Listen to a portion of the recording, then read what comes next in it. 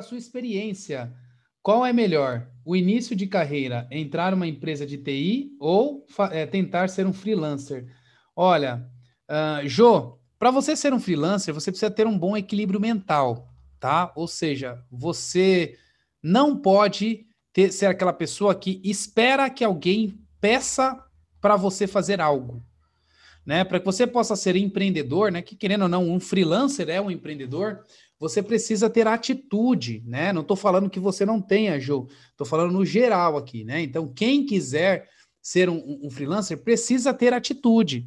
Então, o equilíbrio mental, que é onde a maioria das pessoas falham, é infinitamente maior para quem está é, almejando uma carreira empreendedora.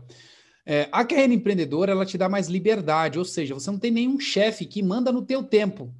Você faz o software a hora que você quer, você acorda a hora que você quer, você trabalha a hora que você quer, você tira férias quando você quer, você vai no banheiro a hora que você quiser, você faz o que você quiser da tua vida. Porém, você tem que entregar valor, tá? Quando você é freelancer, você tem que entregar valor. É diferente do, da pessoa que trabalha dentro de uma empresa. Muitas vezes a pessoa que trabalha dentro de uma empresa, ela às vezes não tem projeto para fazer. Né? Às vezes a empresa está num período que está fazendo vendas e ela ainda não tem nenhum projeto fechado. E aí você tem ali as pessoas que ficam meses e meses sem fazer nada, o dia inteiro, só estudando. Isso acontece e é muito comum em empresa de tecnologia. Né? E quando isso acontece, você recebe normal. Né, quando você está dentro de uma empresa. Agora, quando você está como freelancer, se isso acontecer e você não tiver nenhum projeto, você não recebe. Então, você precisa ter um maior equilíbrio mental e você precisa saber vender.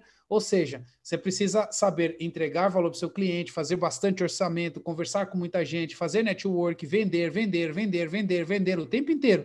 Se você não souber vender como freelancer, você não vai se manter no mercado. Por isso que você precisa ter um skill de vendedor, você precisa ter um skill de negociador, você precisa ter um skill de gerenciador, você precisa ter um skill de analista e você precisa ter um skill né, de técnico para que você possa ser um empreendedor. Se você não tem esses skills, ah, e outra coisa, o perfil técnico para que você possa ser um empreendedor, você tem que saber back-end, você tem que saber front-end, você tem que saber infraestrutura, você tem que saber segurança, tá? Porque você tem que saber colocar um projeto em produção e projeto esse que seu cliente vai utilizar. Não adianta nada você entregar um monte de HTML e CSS para o seu cliente que ele não vai nem estar tá nem aí para isso. Você precisa entregar um projeto que seja funcional para o seu cliente, deployável na internet, registrado o domínio. Então, se você não sabe essas coisas, não adianta querer ir para sua carreira de freelancer, porque você vai achar poucos trabalhos e você vai ter uma certa frustração, tá bom? Então, se você, obviamente que freelancer você vai aprender demais, porque você vai ver um monte de situação que você precisa construir, que normalmente você é, não iria saber se você estivesse trabalhando dentro de uma empresa, tá? Então, o que, que eu digo para vocês é, quer ser um freelancer, você precisa de todos esses skills que eu acabei de falar aqui. Se você quer ser um, uma pessoa que vai trabalhar numa empresa, às vezes você só sabe front-end, você serve para uma empresa. Às vezes você só sabe back-end, também você serve para uma empresa. Às vezes, se você só sabe ali é, fazer análise, talvez você sirva para uma empresa. Mas você vai ser parte de uma engrenagem, né? Você não vai fazer a engrenagem inteira girar e muitas vezes não vai entender todos os processos que tem dentro de uma empresa. É, o que faz com que você possa ter uma certa senioridade é saber os processos onde se encaixam naquela empresa e naquele produto que você está fazendo, para você conseguir orientar e conduzir aquele sistema da melhor forma. Se você não consegue enxergar todos os processos, muitas vezes você vai fazer uma coisa e você vai ver que você vai ter que refazer várias vezes, porque você achou que era desse jeito, mas o cliente queria do outro jeito, entende? Então, muitas vezes, quando você trabalha dentro de empresa, você não precisa de tantos skills assim para se manter no mercado, tá?